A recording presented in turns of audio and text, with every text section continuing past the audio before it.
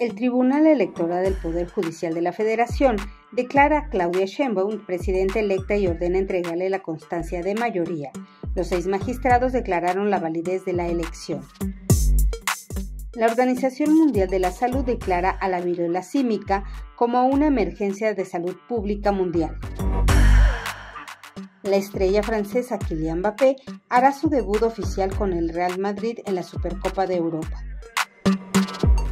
Ángel Aguilar sigue disfrutando de unas vacaciones familiares y ahora circula una fotografía en la que luce un traje de baño con pareo. Luce muy esbelta y sin ningún signo aparente de embarazo.